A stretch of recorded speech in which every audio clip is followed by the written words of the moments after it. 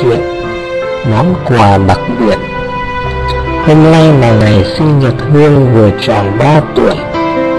Hương nhận được nhiều quà lắm. Có chiếc hộp thắt lê hồng của mẹ tặng Hương, Chưa mở ra. Không biết trong đó có quà gì đây.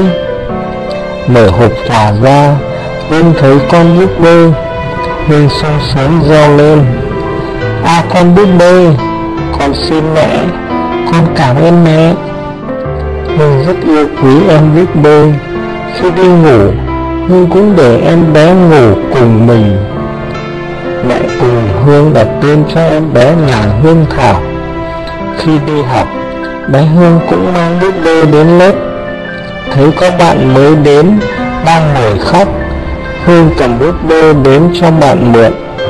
Cô giáo cũng mỉm cười Thấy bé Hương biết nhường búp bê của mình cho bạn. Chiều về, Cô giáo khen Hương trước lớp Vì Hương biết nhường đồ chơi cho bạn. Hương rất sung sướng được cô giáo và các bạn khen.